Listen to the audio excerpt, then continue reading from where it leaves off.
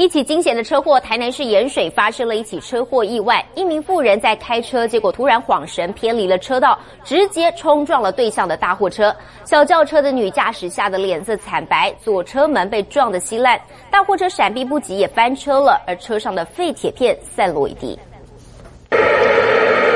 小轿车撞的车门凹陷，前方保险杆也看不出原本外观，还有一颗轮胎被撞飞好几公尺远。女驾驶满脸惊恐，消防队员紧急替她包扎伤口。啊，伊台车上几个？哇，没几个啦。我这台嘞，这台嘞，你啦？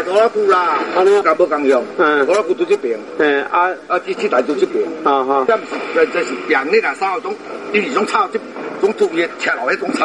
八号中午，小轿车开往盐水潮勤路时，疑似晃神，竟然开车冲向对面车道。当时这辆大货车为了闪避，车子也不慎翻覆，车内的废铁片散落一地。哦，脸部是玻璃啊，玻璃用的。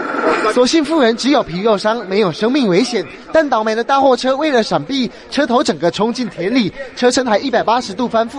到底是妇人晃神，还是有其他原因？警方还要再调查。记者高燕泰、王少。台南报道。